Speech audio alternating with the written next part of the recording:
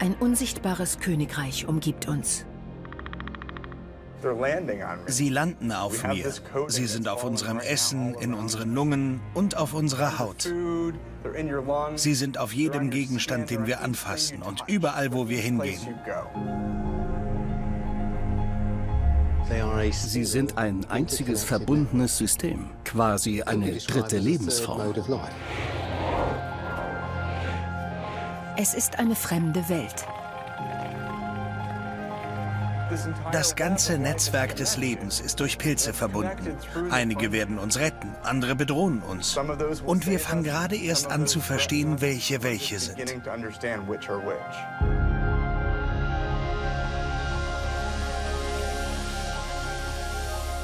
Sie formten unsere Welt und entscheiden über unsere Zukunft. Willkommen im Königreich der Pilze.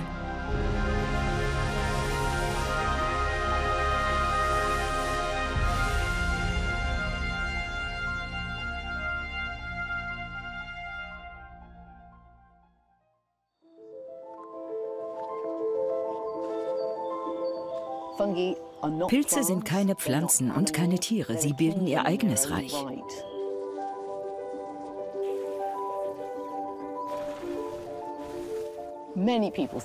Viele Menschen sehen sie als Pflanzen, vielleicht weil sie sich nicht bewegen und nur da sitzen. Aber tatsächlich sind Pilze viel enger mit Tieren verwandt als mit Pflanzen. Und ähnlich wie Tiere müssen sie andere Organismen fressen.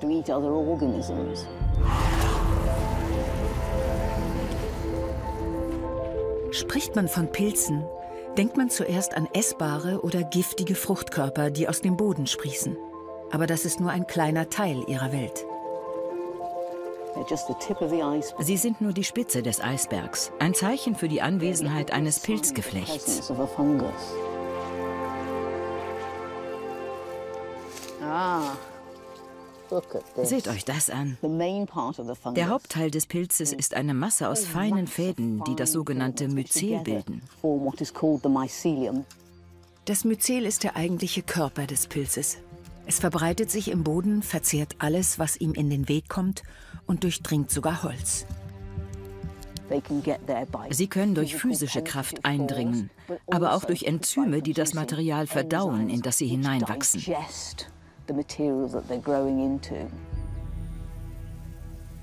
Diese Enzyme sind die Zähne und Klauen der Pilze. Wir wissen ziemlich viel über Einzeller, wie zum Beispiel Bakterien, und Vielzeller wie Pflanzen und Tiere. Pilze hingegen sind ungewöhnlich, weil sie ein einziges eng verbundenes Netzwerk sind. Sehr vieles ist noch unbekannt. Fast bei jedem Experiment finden wir etwas, das noch nie jemand gesehen hat. Ihr gesamtes Wachstum und ihre Entwicklung hängt davon ab, was in ihrer Umgebung passiert. Bei Tieren gilt, wenn sie Arme und Beine haben, können sie nicht je nach Bedarf weitere nachwachsen lassen. Anders als bei einem Tier verändert der Pilz bei seiner unersättlichen Suche nach Nahrung andauernd seine Form. Er kann sich immer weiter ausbreiten und nicht brauchbares Material wiederverwenden, um woanders zu wachsen. Tatsächlich kann er also wandern, wenn er Nahrung findet. Im Verlauf von einer Milliarde Jahren Evolution wurden Pilze zu Überlebenskünstlern. Pilze existieren schon so lange. Sie hatten genug Zeit, sich zu behaupten. Sie fanden Wege, tödlich zu sein. Sie können besiegen, was sie bekämpft. Sie haben eine Milliarde Jahre Erfahrung in der Existenzsicherung.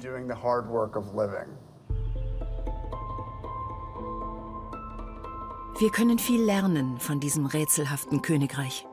Aber wir kennen nicht einmal ein Prozent der geschätzten fünf Millionen Pilzarten. Wir sind diesen Organismen gegenüber sehr ignorant. Mit jedem Atemzug inhalieren wir hunderte Pilzsporen und wissen nicht mal Grundlegendes über die Arten, die wir seit Jahrhunderten erforschen. Die Mikrobiologen Rob Dunn und Anne Madden wollen herausfinden, wie Pilze unser Leben verändern können.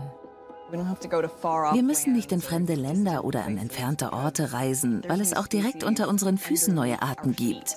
Und jede Art ist vielversprechend. Sie könnte einen neuen Stoff enthalten, der zum nächsten großen Antibiotikum verhilft. Oder eine Chemikalie, die Krebs heilt. Oder etwas bewirkt, von dem wir jetzt noch nichts wissen.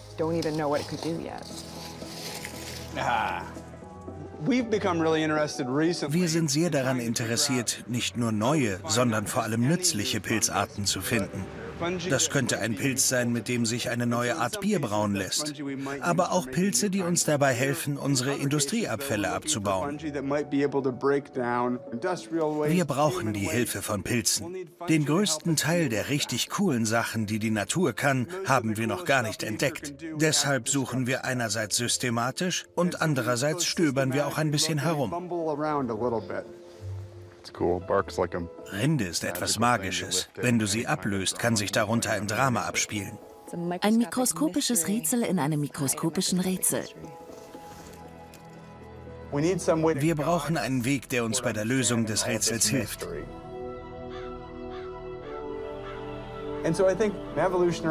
Die Naturgeschichte liefert uns dabei den Kompass, der uns die Richtung anzeigt. Dies ist die große, bisher unerzählte Geschichte, wie Pilze alles Leben an Land formten. Um sie zu verstehen, müssen wir zu den Anfängen der Evolution zurückgehen.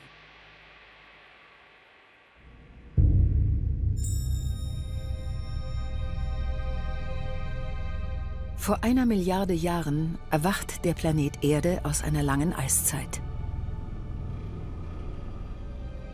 Zurückweichende Gletscher geben eine unfruchtbare Landschaft frei. Und doch wird aus dieser Ödnis die gesamte Fülle irdischen Lebens hervorgehen. In den Lavafeldern von Island finden sich Hinweise auf die ersten Siedler. Aufregend herauszufinden, was hier lebt, das wir nicht sehen. Auf diesen Felsen finden sich Hinweise darauf, dass mikroskopische Pilze zu den Pionieren des Lebens gehörten. Vor etwa einer Milliarde Jahren begannen Mikroben die Erde zu besiedeln. Darunter waren Bakterien und auch Pilze in krustenartigen Gemeinschaften.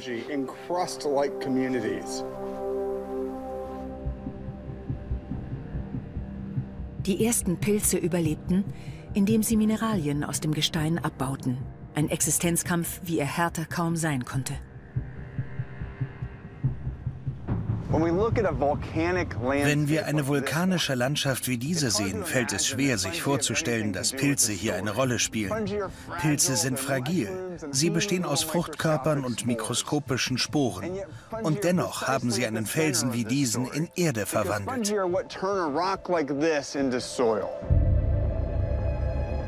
Pilze fressen Felsen.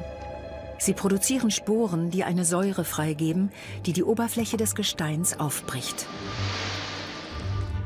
Schnell wachsende Pilzfäden, die sogenannten Hyphen, bohren sich in das Gestein, um nährstoffhaltige Mineralien aufzunehmen. Mit einem Druck, der hundertmal größer ist als der Druck in einem Autoreifen, zertrümmern die Spitzen der Hyphen den Felsen. Was wir hier sehen, ist eine Art molekularer Bergbau. Durch diesen Prozess verwandeln Pilze Felsen in Leben. Indem sie Gestein mineralisierten, legten die Pilze die Grundlage für das Aufkommen der ersten Pflanzen. Doch der nächste Schritt, die Besiedelung der Erde, war groß. Vor etwa 500 Millionen Jahren wanderte eine Gruppe Algen von den Rändern der Ozeane in Süßwasserteiche auf dem Festland. Um dort Fuß fassen zu können, mussten die Algen einen Handel mit den Pilzen eingehen. Organismen, die im Wasser leben, baden in einer Nährstofflösung. Wenn sie an Land gehen, sieht das ganz anders aus. Dann ist es sehr schwer, an das Wasser und die Nährstoffe zu kommen, um zu wachsen. Eine wichtige Strategie war es, sich früh mit den Pilzen zu verbünden, die an Land bereits Fuß gefasst hatten.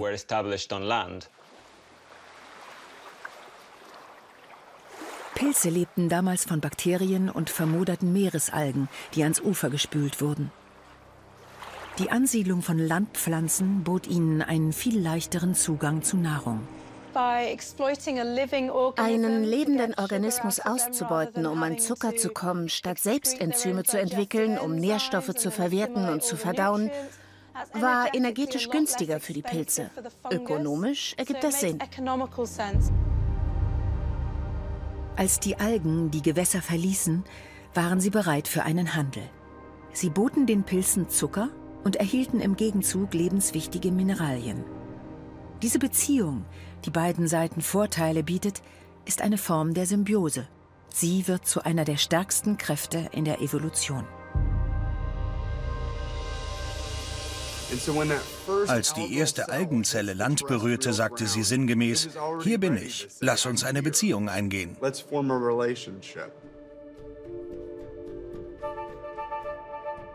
Der Mikrobiologe Dr. Eric Homm hat diese uralte Partnerschaft zwischen mikroskopischen Pilzen und Algen nachgebildet. Mich faszinieren Beziehungen, wer gut miteinander auskommt und warum. Dr. Homms Experiment zeigt, dass Pilze und Algen auch nach 500 Millionen Jahren noch zusammenarbeiten. Was denkst du, wie lange brauchen die beiden, um eine Symbiose zu bilden? Keine Ahnung. Es steht nicht von vornherein fest, dass sie eine Partnerschaft bilden. Ja, sie können eine Partnerschaft bilden. Das ist das Resultat von sieben Tagen. Wahnsinn. Du hast diese beiden zusammengeführt? Ja. Beide hassen das Leben und du erhältst innerhalb von sieben Tagen das? Ja, sie finden sich. Dass die beiden zusammen sind, bedeutet, dass die Alge irgendwie in den Hyphen eingeschlossen ist? Ja, sie sind physisch miteinander verbunden, quasi Arm in Arm. Das finde ich fantastisch. Du stellst nach, was stattgefunden haben muss. Ja. Darin steckt eine besondere Schönheit. Diese Symbiose zwischen Pilzen und Algen wird die Tür zur Evolution aller Landpflanzen öffnen. Sie ist der biologische Urknall. Dieser erste Sprung war groß und hat das dunkle Land begrünt.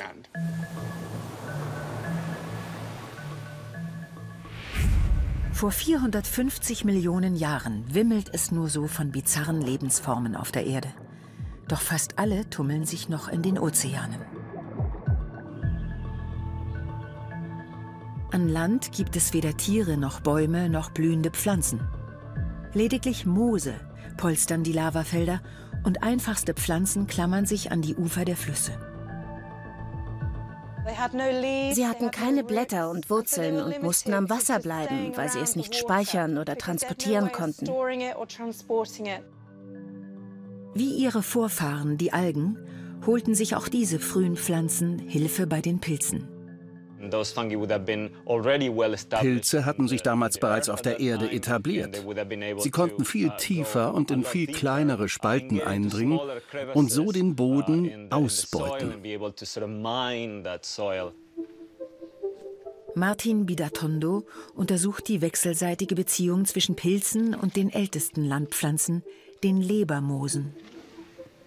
Man kann es sich so vorstellen. Die Pilze traten in Kontakt und berührten die Oberflächen dieser flach wachsenden Pflanzen. Sie wuchsen eher um sie herum als in sie hinein. Beim Erkunden des Lebermooses finden die Pilze einen Weg zwischen den Pflanzenzellen. Einige schaffen es sogar, in das Zellinnere vorzudringen. Pilze schafften es also, die Pflanzen zu besetzen und wunderschöne baumartige Strukturen zu bilden, die sogenannten Arbuskeln. Durch diese Arbuskeln entziehen die Pflanzen dem Pilz Phosphor und geben ihm dafür Kohlenstoff, der durch Photosynthese entsteht.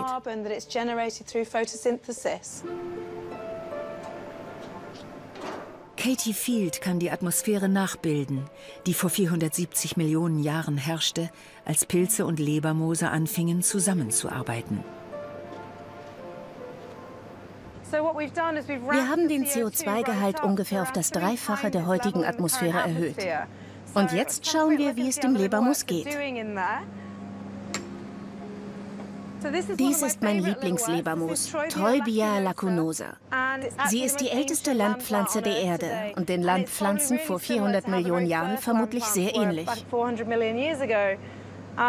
Offensichtlich geht es ihr bei dem hohen CO2-Gehalt im Schrank sehr gut. Das deutet darauf hin, dass der Pilz seine Arbeit macht und sie mit Nährstoffen aus dem Boden versorgt. Und deshalb gedeiht sie. Dank ihrer Zusammenarbeit mit den Pilzen überlebten die Lebermoose nicht nur, sie blühten geradezu auf. Diese winzigen Pflanzen saugten Kohlendioxid auf und gaben Sauerstoff ab und verhalfen dem Planeten so zu seinem ersten Atemzug. Mit der Zeit veränderten sie die Zusammensetzung der Atmosphäre und bereiteten komplexen Pflanzen den Weg. Viel größere Pflanzen entwickelten sich, mit Blättern und Stomata, Spaltöffnungen, die die CO2-Aufnahme kontrollieren können. Und mit Wurzeln, die es den Pflanzen erlauben, hoch über den Boden zu wachsen. Seither wurde fast jede Pflanze von ihrem symbiotischen Pilz genährt. Mich fasziniert die Vorstellung, dass eine lebende, gesunde Pflanze es einem anderen Organismus erlaubt, zwischen ihren Zellen und in ihren Zellen zu wachsen. Sie erlaubt es ihm nicht nur, sie zieht sogar einen Nutzen daraus. Letztendlich halfen die Pilze den Pflanzen, sich von winzigen Gewächsen an Ufern zu großen Wäldern und ganzen Ökosystemen zu entwickeln.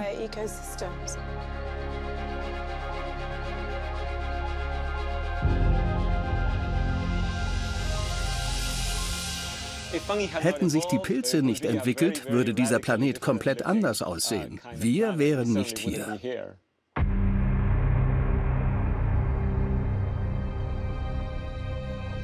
Lange bevor die ersten Wälder entstanden, beherrschten Pilze die Erde. 50 Millionen Jahre lang ragten riesige Strukturen, die Prototaxites, bis zu acht Meter aus der Erde. Sie waren so seltsam und unerklärlich, dass Wissenschaftler 100 Jahre lang über sie stritten. Prototaxites wurde als fossiles Holz identifiziert. Aber als ich mir das Gewebe selbst ansah, hielt ich das für sehr unwahrscheinlich. Es machte mich neugierig und ich wollte herausfinden, was es war. Es war nicht mit heutigem Holz zu vergleichen. Das nächstliegende war also die Annahme, es könnte ein Pilz sein. Ich verglich es mit heutigen Pilzen, und zwar Porlingen, die sehr hölzern und sehr hart sind. Dr. Francis Huber hat sein Leben lang versucht, aus diesen rätselhaften Fossilien schlau zu werden. Diese Struktur ist definitiv kein Holz. Das hier sind Hyphen und das sind Röhren. Das ist typisch für heutige Pilze. Wenn wir einen Porling aufschneiden, sehen wir eine ähnliche Anordnung von verschieden großen röhrenförmigen Elementen. Diese gigantischen Pilze verbreiteten sich auf alle Kontinente und beherrschten 50 Millionen Jahre lang die Landschaft. Sie hatten keine Feinde, bis Insekten auftauchten und anfingen, sie von unten her aufzufressen. Ich sage immer, Prototaxites hatte genug davon, am Boden gefressen zu werden, kletterte einen Baum hoch und wurde zum Baumpilz. Diese seltsamen Fossilien sind alles, was geblieben ist. Eine Erinnerung an die bizarren Experimente der Evolution.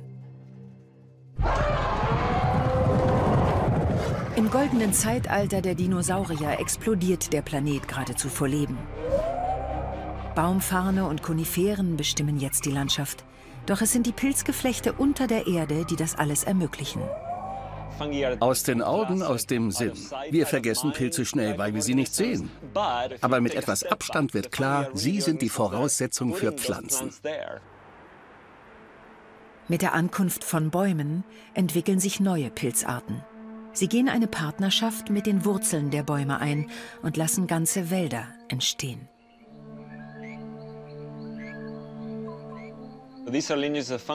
Das sind Pilzarten, die im Boden ganz andere Dinge tun als die frühen Arten, die den Pflanzen dabei geholfen haben, sich an Land anzusiedeln.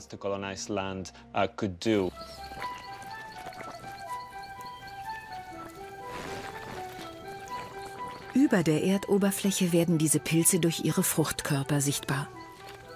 Doch unter der Oberfläche bilden sie komplexe Netzwerke, die Wissenschaftler als Wood Wide Web bezeichnen.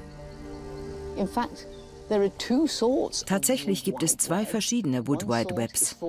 Eins besteht aus Destruenten, Zersetzern, die totes pflanzliches Material abbauen und viele verschiedene tote Ressourcen vernetzen.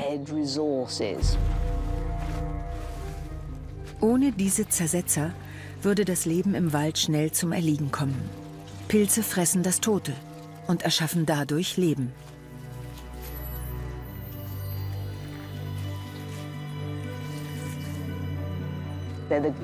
Sie sind die Müllabfuhr der Natur. Sie bauen totes organisches Material ab und machen die darin enthaltenen Nährstoffe wieder für andere Pflanzen verfügbar. Ansonsten wären alle Nährstoffe des Planeten in toter Materie eingeschlossen. Pilze nehmen das tote Material und geben es dem Leben zurück. So wird alles wiedergeboren. Das Netz des Lebens ist durch die Pilze miteinander verbunden.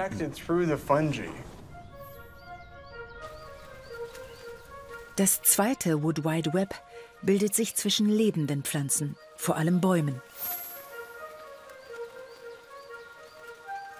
Auf der Suche nach Nahrung dringen die Pilzfäden, die sogenannten Hyphen, zu den Baumwurzeln vor. Sie umschließen die Wurzel und einige finden sogar den Weg in ihr Inneres.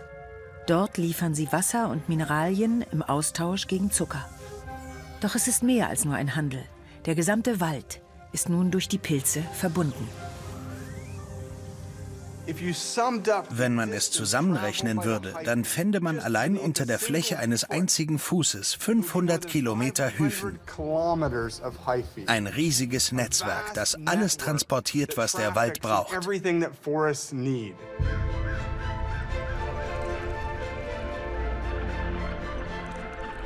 Das Internet der Natur.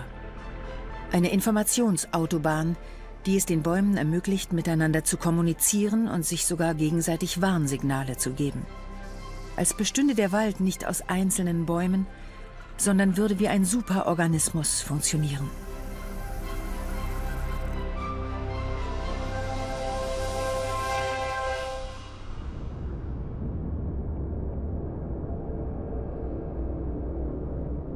Verbunden durch das Pilznetzwerk entsteht ein üppig bewachsener, lebendiger Planet. Aber hunderte Millionen Jahre Evolution stehen kurz davor, in einem einzigen Moment weggefegt zu werden. Dieser Asteroideneinschlag rottet 70 Prozent aller Arten aus. Doch Pilze, die ultimativen Überlebenskünstler, nutzen die Katastrophe zu ihrem Vorteil. Die Erde wurde zu einem Pilzkompost. Denken Sie einmal darüber nach. Über Nacht passiert diese Katastrophe. Staub wird aufgewirbelt. Es gibt kein Sonnenlicht. Es gibt nur verrottende pflanzliche Materie. So können sich die Pilze rasant vermehren.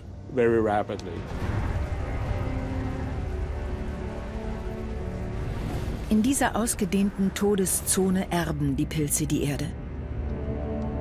Und so unglaublich es klingt, ohne diese Katastrophe wären wir Menschen gar nicht hier. Denn eine bisher unbedeutende Art überlebt, die Säugetiere, aus denen wir uns entwickeln werden. Säugetiere haben einen Vorteil gegenüber Reptilien. Sie sind heiß. Reptilien sind recht anfällig für Pilzerkrankungen, aber ein Säugetier, das eine Körpertemperatur um 35 Grad hat, schafft eine Art thermale Ausschlusszone für Pilze. Eine faszinierende Theorie. Sollte sie zutreffen, lägen die Körpertemperaturen von Warmblütern über den Temperaturen, die die meisten Pilze aushalten. Casa de Valls Team wollte diese Hypothese überprüfen. Nach zwei Tagen auf dieser Kultur bei entweder 25 Grad, also Zimmertemperatur, oder 37 Grad der menschlichen Körpertemperatur sehen wir Unterschiede im Wachstum.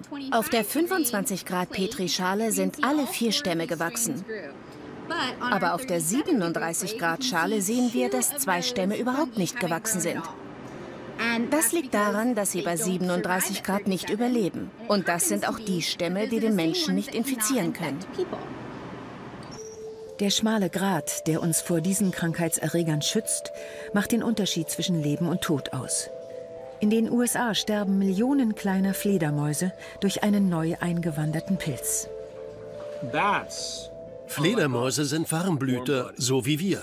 Allerdings halten sie Winterschlaf. Und wenn ihre Körpertemperatur sinkt, werden sie anfällig für diese Pilzkrankheit. Das Interessante ist, wenn wir infizierte Fledermäuse füttern, sie aufwecken und ihre Körpertemperatur ansteigen lassen, können sie die Pilzkrankheit kontrollieren.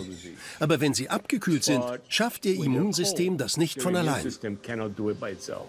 Die Warmblütigkeit von Säugetieren inklusive Menschen hat sich quasi als Schutz vor Pilzen entwickelt. Wir haben die Krankheitserreger ausgekocht.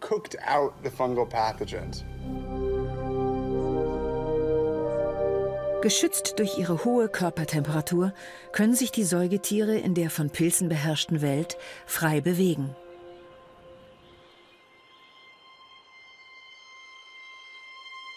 Vor 10 Millionen Jahren wurde das Klima warm und trocken. Wälder wichen Wiesen und unsere Vorfahren begannen, das Leben am Boden zu erkunden. Der simpelste aller Pilze sollte ihr Schicksal verändern. Die Hefe. An den Bäumen gibt es viele unvergorene Früchte.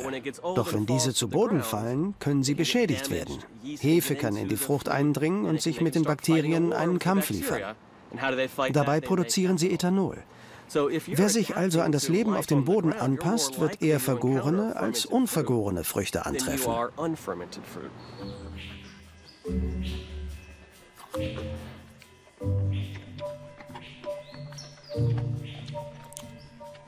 Wenn du die vergorenen Früchte isst und das Ethanol nicht abbauen kannst, wirst du betrunken.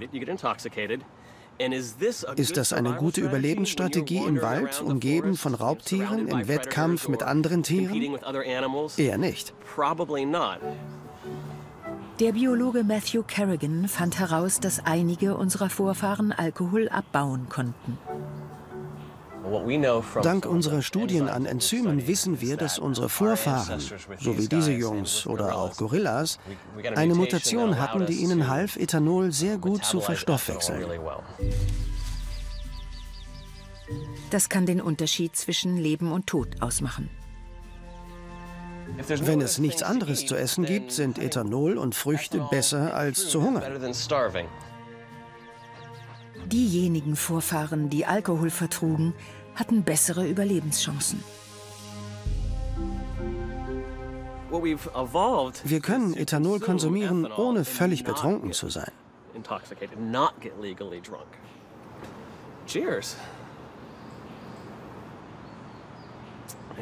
Hefe, ich liebe sie. Durch diese eine Mutation Tief in unserer evolutionären Vergangenheit ist unsere Geschichte eng mit der Hefe verknüpft.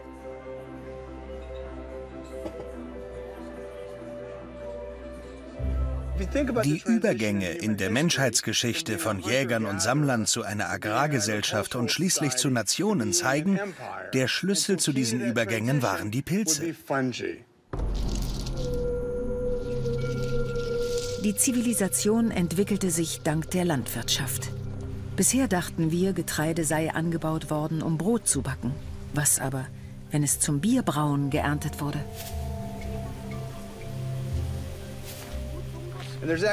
Es gibt Hinweise darauf, dass unter den Getreidesorten, die in der Frühzeit angebaut wurden, Sorten waren, die nicht fürs Brotbacken, sondern fürs Bierbrauen die besten waren.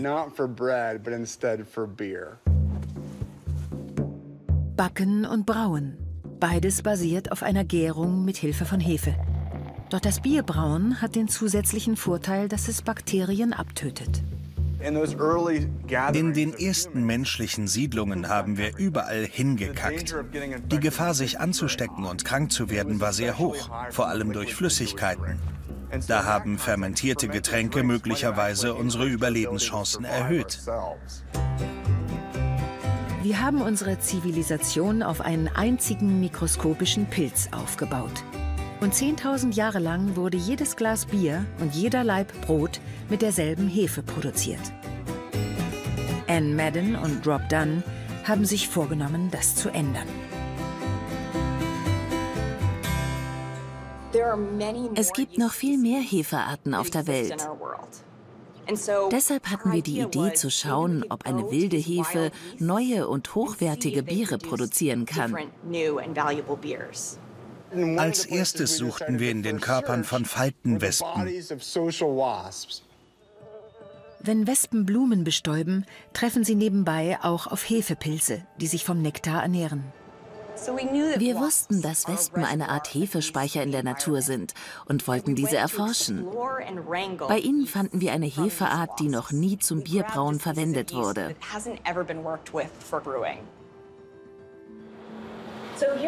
Wir haben hier die vier verschiedenen Hefearten, die von den verschiedenen Arthropoden kamen, die wir untersuchen. Die Hefen sehen sehr unterschiedlich aus. Sie haben verschiedene Pigmente produziert. Und sie riechen unterschiedlich. Die hier riecht fruchtig. Ja, und das wird sich vermutlich aufs Bier übertragen. Das müssen wir also im Kopf behalten. Die meisten Hefen können keinen Alkohol produzieren und wenn sie es doch können, riecht es fürchterlich. Die also nicht. Wie unfair, das war ein Trick. Wir hatten also sehr geringe Erfolgsaussichten, aber wir fanden ein paar Hefen mit der Fähigkeit, Alkohol zu produzieren. Ich schickte sie an unseren Brauer und erwartete nicht viel. Wissenschaftlich gesehen war das ziemlich aussichtslos. Doch ein paar Wochen später schrieb mir John eine Mail. Die Hefe hat Bier gemacht. Ja, die Hefe aus dem Körper der Wespe hat das Bier für uns gemacht, das du jetzt trinken wirst. Ich bin mir unsicher. Soll ich mich gut fühlen? Probier's. Okay, auf geht's.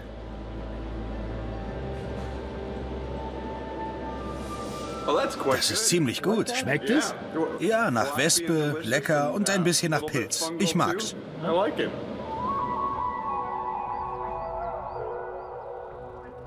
Pilze haben uns aber mehr gegeben als Bier und Brot. Schon unsere Vorfahren kannten sie als Lebensretter. Vor 5000 Jahren war diese wunderschöne Gegend in den Tiroler Alpen schon von Menschen besiedelt. Ein Mann machte sich schwer bepackt auf eine Reise. Doch leider sollte er nicht nach Hause zurückkehren.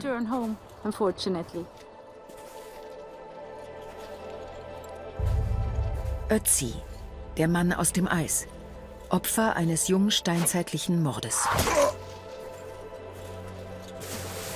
Sein Körper wurde im Eis tausende Jahre lang perfekt erhalten, so auch seine Besitztümer. Darunter waren zwei Objekte, die anfangs ein großes Rätsel waren und sich später als Pilze herausstellten. Wir überlegten, ob es Nahrung sein könnte, aber niemand würde sich die Mühe machen, Nahrung so zu verzieren.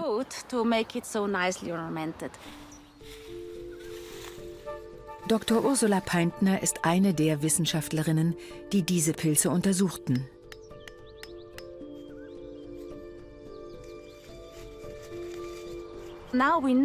Heute wissen wir, dass der Birkenporling unser Immunsystem stärkt und auch gegen Krebs und Entzündungen hilft.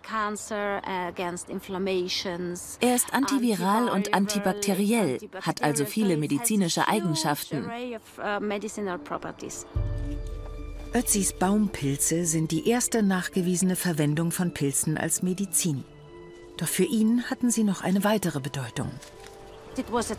Sie waren ein Glücksbringer, etwas Spirituelles, der göttliche Geist, der ihn auf der Reise beschützen sollte.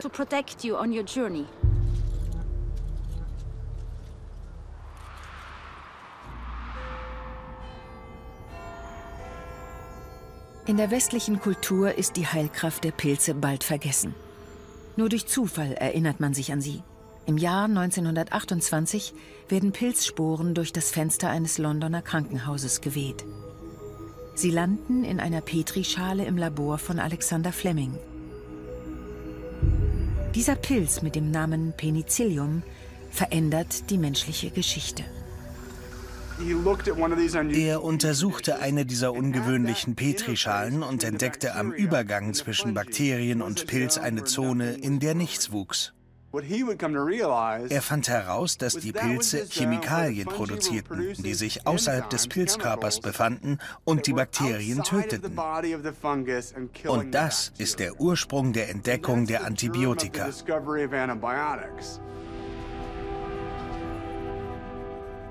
Die Menschheit wurde in ihrer gesamten Geschichte fast durchgängig von bakteriellen Seuchen dezimiert. Doch seit der ersten Penicillin-Tablette hat sich die Weltbevölkerung verdreifacht. Wir haben gigantische Städte gebaut und unseren Planeten verändert. Wir werden um zwei weitere Milliarden Menschen wachsen. Wir werden mehr Nahrung und mehr Antibiotika brauchen. Deshalb werden wir noch stärker von Pilzen abhängen als heute. Die lebensrettende Kraft der Antibiotika ist das Ergebnis eines uralten Krieges. Pilze und Bakterien sind Todfeinde. Wo immer Pilze wachsen, treffen sie auf Bakterien. Und über Millionen Jahre haben sie Mechanismen entwickelt, diese zu töten.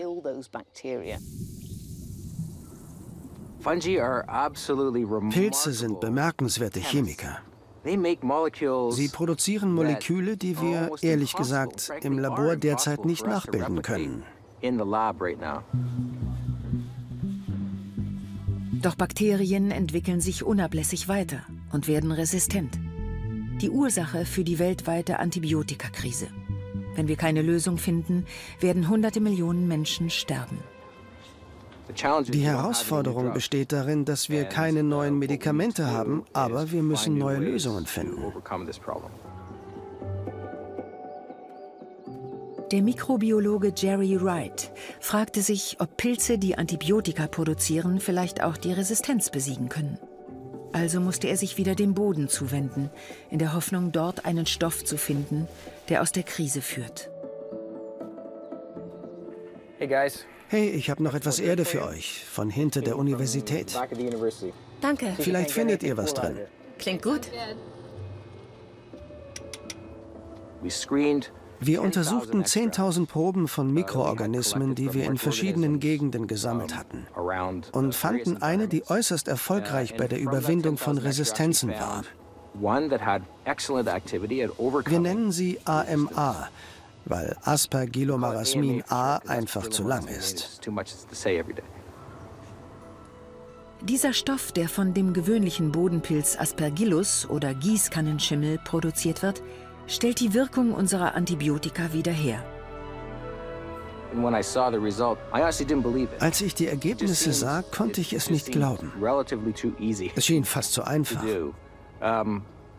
Doch es stimmte alles. Wir fragten uns immer wieder, kann er bei Lungenentzündung angewendet werden oder bei jener Infektion?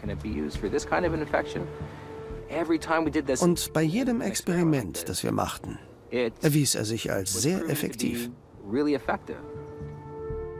Mit der Beimischung dieser Pilzmoleküle werden selbst die resistentesten Superbakterien besiegt. Ich arbeite seit 25 Jahren in diesem Feld und wir hatten noch nie ein Molekül, das so wirksam war. Das ist wahnsinnig aufregend. Das Königreich der Pilze ist die Chemiefabrik der Natur die der Menschheit gewaltige Vorteile bietet. Schon heute leitet sich die Hälfte der 20 wertvollsten Medikamente von Pilzen ab. Darunter solche zur Unterdrückung des Immunsystems oder Cholesterinsenker. Viele der neuen Medikamente kommen von Pilzen. Sie sind der Zauberkasten mit Stoffen, auf die wir angewiesen sind. Wissenschaftler untersuchen nun den Nutzen einer Vielzahl von Pilzen als Entzündungshemmer, Krebsmedikamente, Antioxidantien und Immunstimulantien. Die Herausforderung für Wissenschaftler ist zu verstehen, warum sie es tun, wie wir es nutzen können und wie wir das finden, was wir suchen. Bei Millionen potenzieller Kandidaten erfordert die Suche nach nützlichen Pilzarten geradezu detektivisches Gespür. Neben den Insekten, von denen wir wissen, dass sie nützliche Pilze in sich tragen, gibt es viele andere, bei denen niemand diesen Zusammenhang untersucht hat.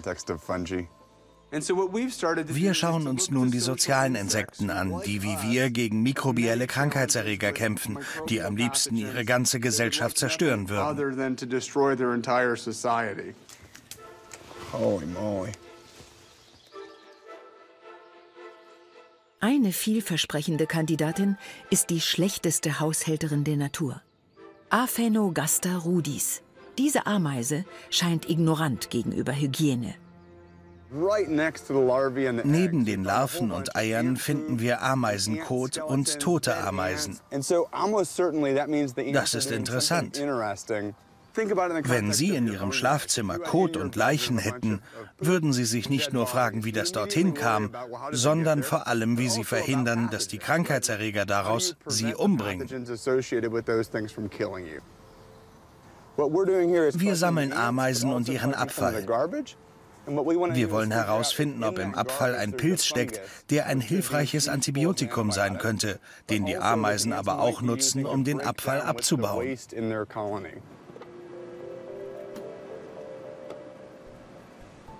Im Labor sichert Anne Madden diejenigen Pilze, die auf den Ameisen gefunden wurden.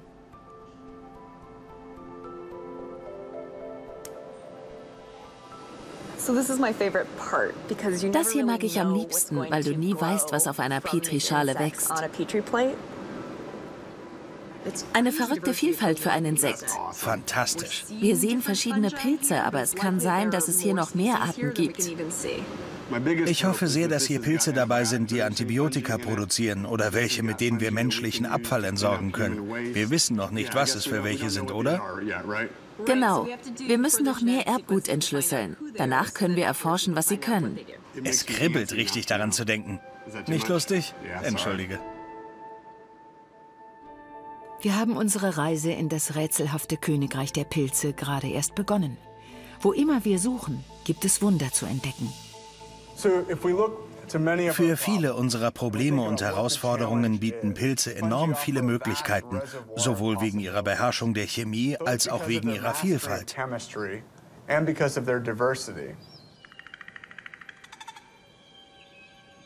Pilze sind die großen Überlebenskünstler der Natur.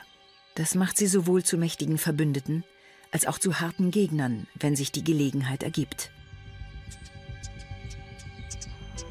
Die Entstehung einer Epidemie an der kanadischen Westküste ist eine Warnung vor den tödlichen Kräften der Pilze. 2001 bemerkten Tierärzte auf Vancouver Island etwas Ungewöhnliches. Viele Katzen und Hunde hatten Knoten unter der Haut und Atemprobleme.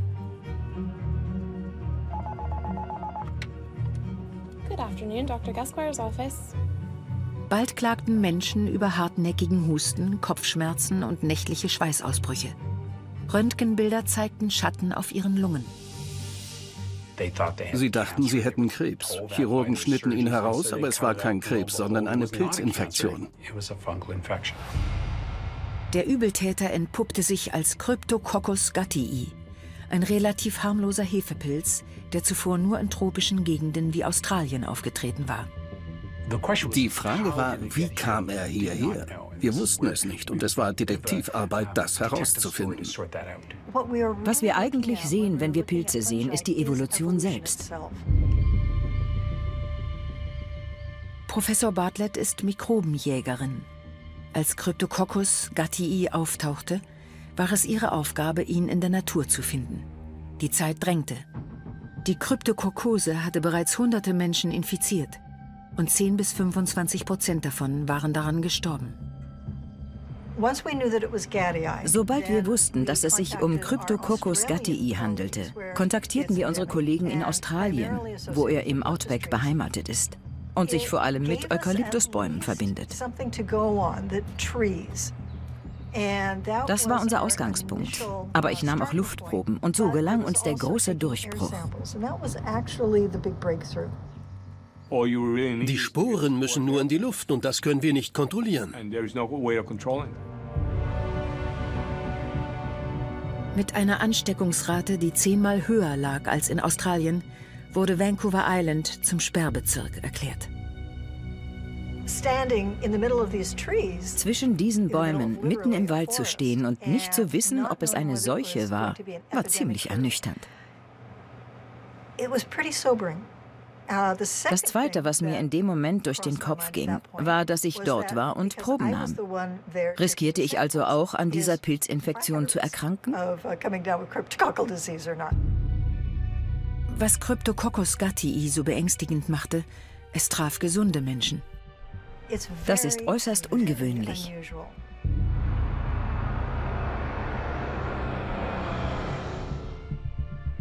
Bleibt sie unentdeckt, kann die Infektion tödlich enden. Ken James, ein ehemaliger Mühlenarbeiter aus Duncan, hatte Glück. Ein Zufall rettete sein Leben.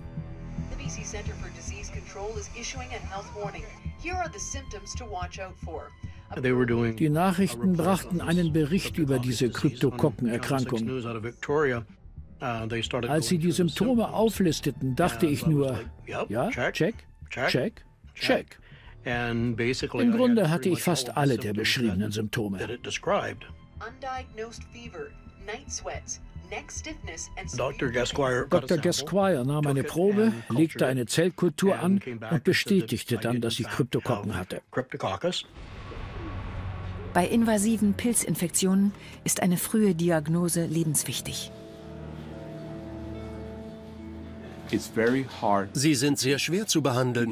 Wenn Sie zum Beispiel eine bakterielle Lungenentzündung haben, werden Sie zwei Wochen lang behandelt, dann geht es Ihnen besser. Wenn Sie eine Pilzerkrankung haben, müssen Sie oft monatelang behandelt werden. Ich musste ein Jahr lang Medikamente nehmen. Hätte ich nicht diese Sendung gesehen, wäre ich heute vielleicht nicht hier. Es sind Menschen daran gestorben.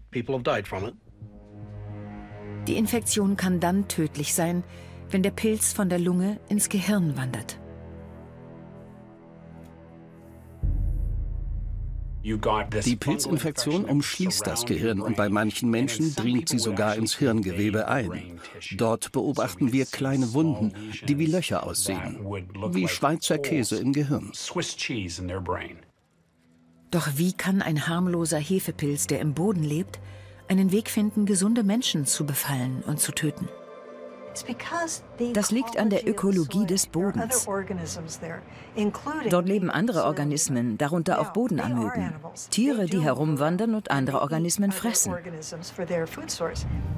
In diesem evolutionären Wettrüsten hat Cryptococcus gattii ein Schutzschild gebaut, um zu verhindern, gefressen zu werden.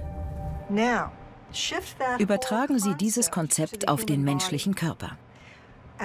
Wir Menschen haben ein primäres Verteidigungssystem, die weißen Blutkörperchen. Und wenn wir uns die ganz naiv unter dem Mikroskop ansehen, sehen sie nicht viel anders aus als Amöben.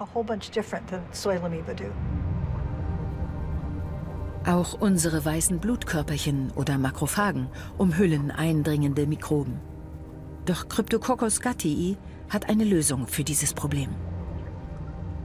Dieselben Eigenschaften, die ihnen gegen Amöben helfen, lassen sie auch die Makrophagen in den Lungen überleben. Lange vor den ersten Menschen hatte dieser Pilz die Waffe, um uns zu töten, sollten wir ihm in die Quere kommen. Gut möglich, dass wir nie von seiner Anwesenheit erfahren hätten. Cryptococcus gattii hatte in der Natur geschlummert, bis sich die Bedingungen änderten. Und das geschah durch die Erderwärmung. Wir wissen, dass die Durchschnittstemperatur in dieser Gegend in den letzten 40 Jahren um ein bis zwei Grad gestiegen ist. Es gibt auch längere Trockenperioden. Wenn dann Staub aufgewirbelt wird, steigt die Wahrscheinlichkeit, dass Menschen die Sporen einatmen und an Kryptokokkose erkranken.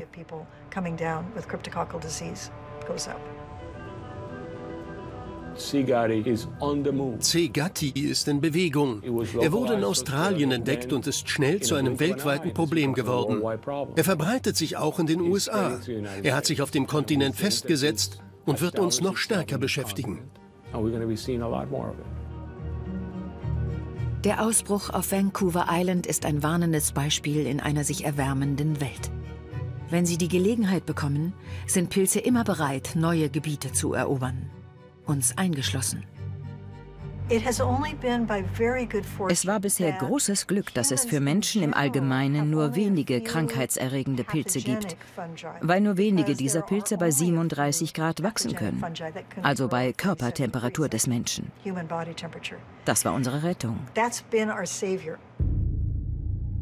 Doch während sich die Erde erwärmt, müssen sich auch Pilze an neue Bedingungen anpassen. So könnten Organismen, die heute noch keine Krankheit verursachen, weil unsere Körpertemperatur sie abhält, zu neuen Krankheitserregern werden. Pilze werden sich weiter unvorhersehbar entwickeln. Sie zu ignorieren wäre sowohl eine verpasste Gelegenheit als auch ein gefährlicher Fehler. Es ist wichtiger denn je, unsere Beziehung zu den Pilzen zu verstehen, weil wir sie nicht kontrollieren können. Hoffentlich schaffen wir es, diese überwiegend friedliche Beziehung fortzuführen. Seit Anbeginn des Lebens haben Pilze die Evolution an Land vorangetrieben. Sie fraßen die Felsen, die zu Erde wurden, und nährten die Pflanzen, die den Planeten begrünten. Um den Planeten zu bekommen, den wir heute haben, brauchten wir Pilze. Es waren die Pilze, die nach jeder globalen Katastrophe das Leben zurückbrachten. Ohne Pilze gäbe es auch sonst kein Leben. Sie sind ein Grundpfeiler unserer Welt. Es waren Pilze, die den Weg für die Zivilisation geebnet haben. Sie haben uns zu dem gemacht, was wir sind. Überall um uns sind Pilze, die unser Schicksal verändern werden. Und wir fangen erst an, das zu verstehen. Wir beginnen erst, das Königreich der Pilze zu erforschen. Die aufregendsten Entdeckungen stehen uns noch bevor.